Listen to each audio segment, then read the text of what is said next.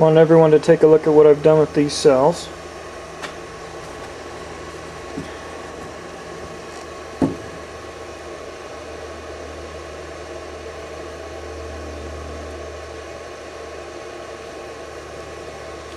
Okay, each one of these two plates is separated by a nylon spacer. I have five sets two plates. Positive comes in, goes out on a negative, to a positive, to a negative, to a positive, to a negative. Basically, this is five two plate cells in series.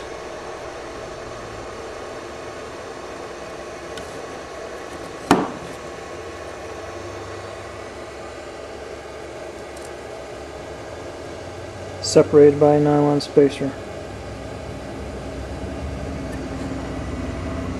I've got two of these. What I'm going to do we're going to go into this box, 6 by 6 by 4 inch deep box. Both cells will be divided and each one of these areas will be sealed from each other.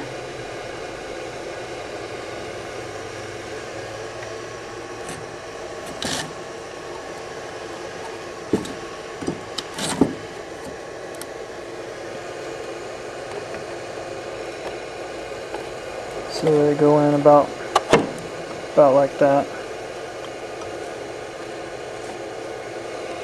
I'm going to seal every plate cavity from the from the next plate cavity. So it's like having five separate cells.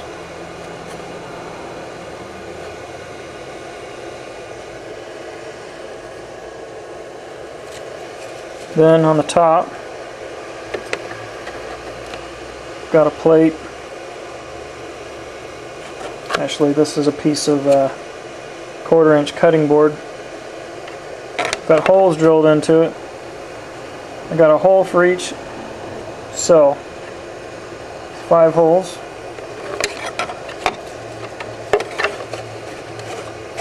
We're going to completely seal that off. So what I've created inside of this there's five different cells.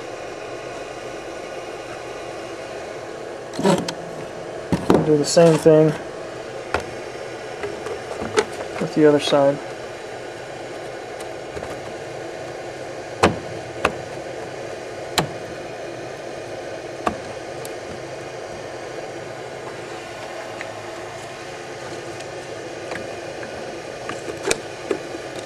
Like that.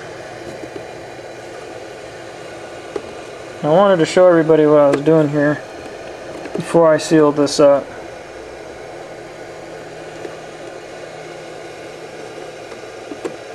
I've already run it um, on a load. It's making pretty good gas. Um, of course it could always be better. It's only pulling 3 amps with 3 tablespoons actually two teaspoons of baking soda added. So I would like to get the amps up, but I'm not sure that uh, I'm going to be able to do that. Uh, I might be able to get them up a little bit after these separate cells are sealed.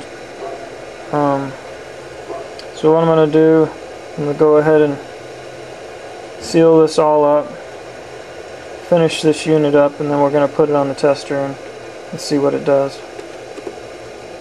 If you have any questions for me, please leave comments. I appreciate every comment that I get. Okay, now I've got the cells in the container. And as you can see, there's two separate chambers. So I've got two separate cells with five sets of two plates. All of the cells will be isolated from each other with a nylon plate. On the sides is where the water will enter in to the cells on the bottom side there's some small holes drilled, one for each, one hole for each pair of cells.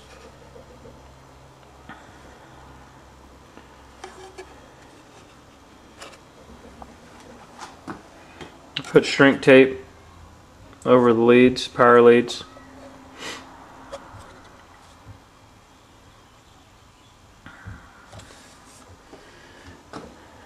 Now I'm going to put these tops on. We'll have